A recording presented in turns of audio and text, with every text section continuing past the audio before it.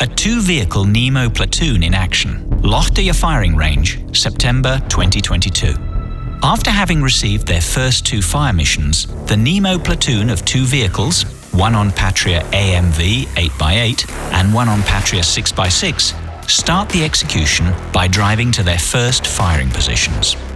The first fire mission is executed as MRSI, Multiple Rounds Simultaneous Impact, using five rounds per Nemo unit.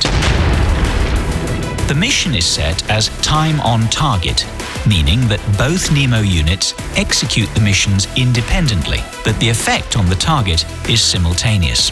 With different trajectories, charges, and flight times, the rounds will hit the target area within just seconds apart causing heavy losses, especially for unprotected personnel or equipment.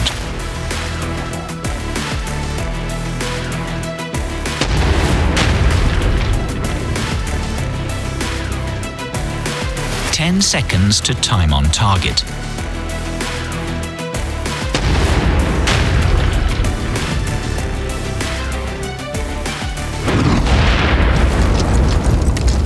The drone is used to do battle damage assessment, BDA, on the target area.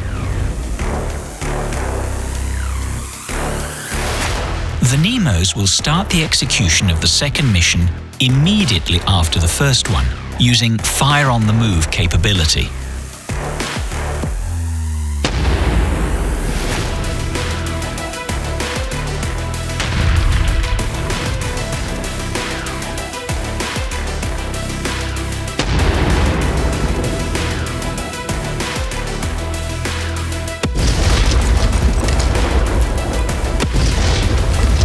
The Nemo team continue its movement to the next firing position after receiving the target data.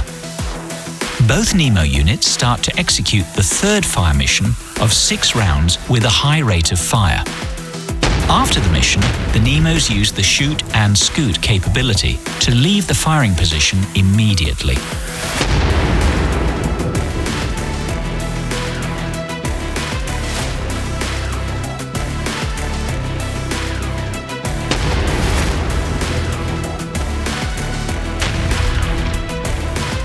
The drone is again used for battle damage assessment on the target areas.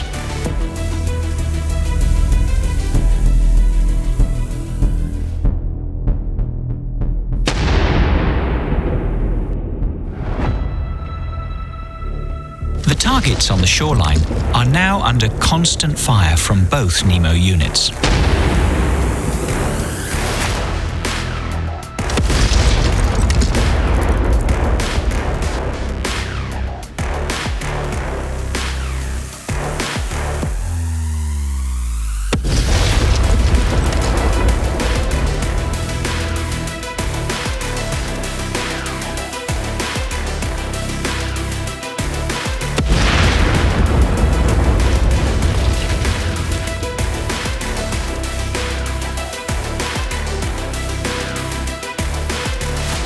The Nemos continue again with their advance and detect two soft targets with their direct fire sensors. They engage them with direct fire on the move capability.